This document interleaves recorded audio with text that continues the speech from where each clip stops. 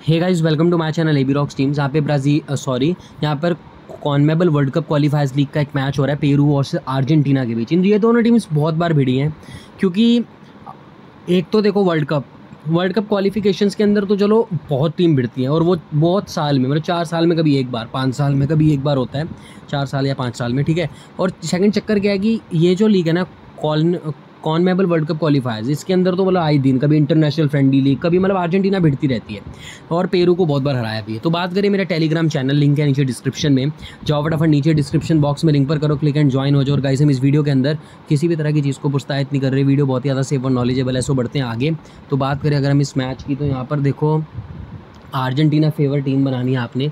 Argentina को ही एक समझदार बंदा अर्जेंटीना को ही फेवर करेगा। एक नौ सिकिया भी करेगा यार। ये तो ये तो सबको पता है कि अर्जेंटीना वर्ल्ड रैंकिंग के अंदर फ़र्स्ट नंबर पे है फीफा रैंकिंग में। इस बार वर्ल्ड कप की विनर भी वही है। वर्ल्ड चैंपियन टीम इस वक्त वो चल रही है। सो कोई भी नहीं होगा जो फेवर बदलेगा। सबसे पहले मैं बात करूँ मेस्सी की हुई वापसी। पिछले मैच में as a substitution thirty seven minutes कह रहे इन्होंने खेला था। एक्चुअली तिरपन मिनट में आया था ना। तिरसठ तिहत्तर तिरासी। और नहीं नहीं, ज़्यादा खेला था ये झूठ लिखा है सैंतीस मिनट। भाई क्योंकि ये तो बहुत, मेरे को ऐसा लग रहा है तो फोर्टी मतलब फोर्टी फोर्टी मिनट्स ऊपर खेल के गया था ये मैच और गोल नहीं किया बट वापसी तो हो गई, बंदा इंजरी से रिकवर हो गया, बस ये चाहिए था।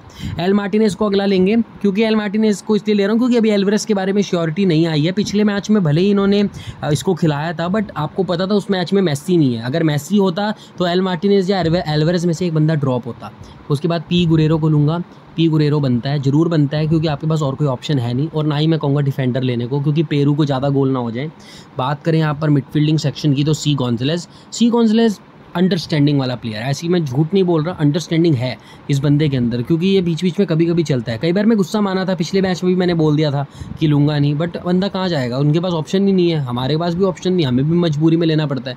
यॉटन की बात करें यॉटन तो इतना अच्छा है नहीं।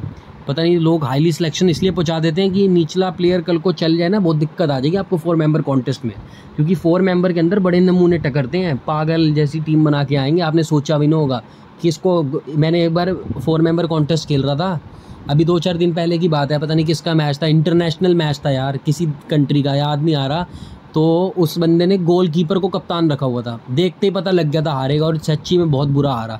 तो मतलब बहुत नमूने टकरेंगे आपको फोर मेंबर कॉन्टेस्ट में। कहीं बिल्कुल पागल होंगे, कहीं बहुत तेज भी होते हैं। तो योतन एक रिस्की तो नहीं है, योतन सेफ़ आप लेना चाहो ले सकते हो। आरडे पॉल को ज़रूर लेना, पिछले मैच के अंदर भी एक असिस्ट आई थी। ये भी अच्छा लगा। ए मैकल स्टर काम का बंदा नहीं है, मेरे को नहीं पसंद। मेरा जेनविनली यही रहता है हर मैच में। एल ओकम पिछले मैच में सब्सिट्यूशन आया था।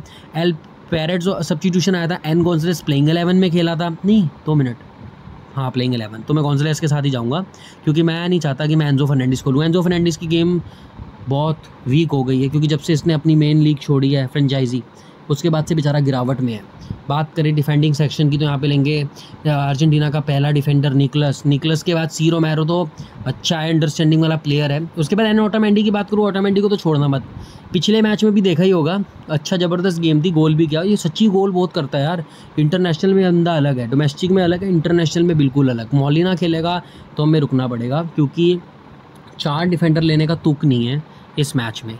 बात करें गोलकीपर की तो यहाँ पर है पेड्रो गैलिस पेड्रो गैलिस को लूँगा। बाकी चार डिफेंडर लेने हो ना, ले भी सकते हो। और गॉन्जलेस आप छोड़ देना, अगर आपने चार डिफेंडर लेने हैं तो गॉन्जलेस छोड़ के आप ले सकते हो मौलिना को। वो आपके ऊपर डिपेंड है। आप बैकअप के साथ जाते हो, कितनी टीम से खेलते हो, मुझे नहीं पता।